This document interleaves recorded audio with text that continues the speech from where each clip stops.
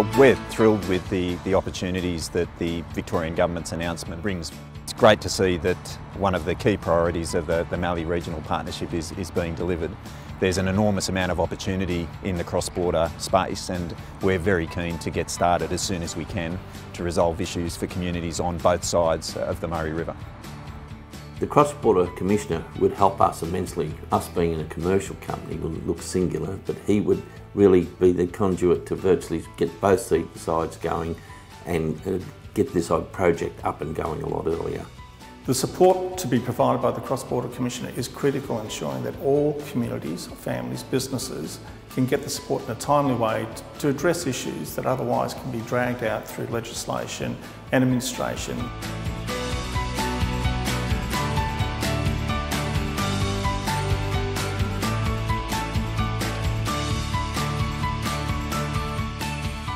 In relation to the skills demand profile, that'll be a tool that the training providers and the schools will be able to use to ensure that they, they match their training to the pipeline of jobs that we have available and we've identified out of the Skills Commission. So I think it, it, it is great that we've got this tool that actually identifies jobs that are going to be there, not train for jobs that are not available. So the skills demand profile has been a vital tool in assisting SuniTAFE align its training delivery with the demands of the community and industry. The profile identified the key areas of growth and skill demand in the region and SuniTAFE is using that information to alter and tailor its delivery so that we are well placed to meet those needs going into the future.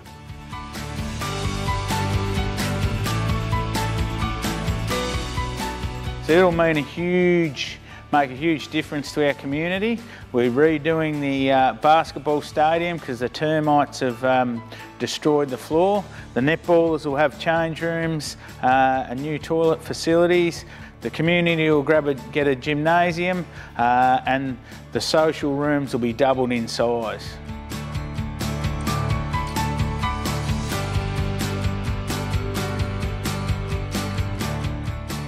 Really pleased to be here talking about the recent funding announcement for the Murray River Adventure Trail. Uh, this funding will enable this game-changing project to advance through doing the planning and design work um, to really bring to life the, the next four stages of the trail as well as the four loop experiences, um, generating about 350 kilometres of trail um, and the aim is to obviously bring this project to fruition across the whole Murray, um, bringing in about 100,000 new visitors, um, usage by about 200,000 locals, and really driving economic outcomes for our communities.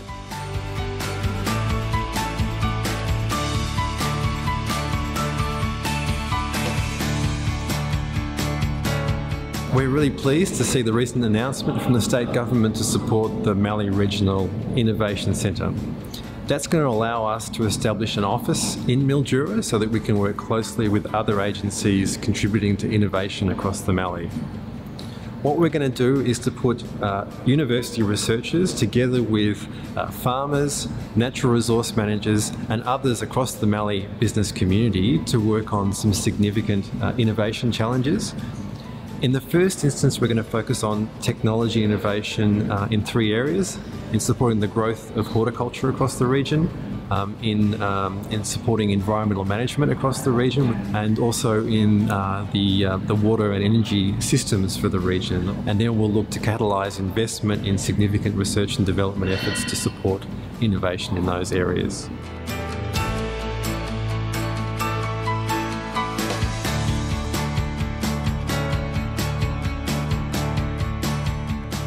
What we're trying to do really is, is to build community and we're doing that through food. So we have, um, while we're trying to re regenerate land and be growing diverse crops using regenerative farming practices, at the same time we're seeing these incredible social outcomes, um, both within the Burundian community that uh, we, we work with, but also you know, much, much more broadly uh, among the whole community here in the region.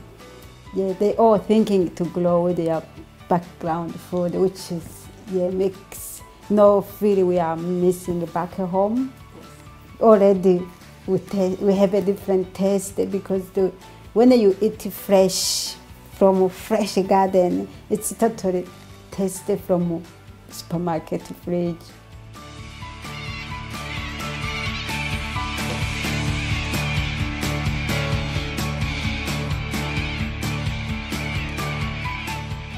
Of the other projects that the Mallee Regional Partnership have been working on is Small Towns, Big Difference.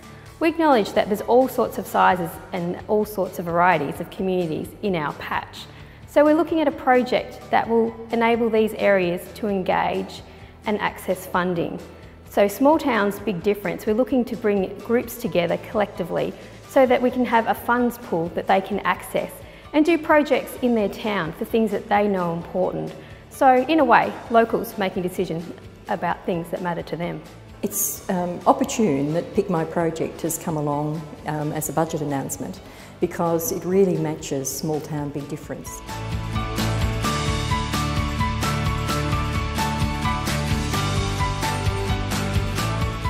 Imagine silo art here in Wycheproof. Wow, it's been something we've thought about for a long time. It's going to bring the tourists in. We need that money in our town. We need outside money. It's just going to make the town vibrant. Just seeing people stop, spend money in some of our shops, you know, just perfect, absolutely perfect. Fingers crossed.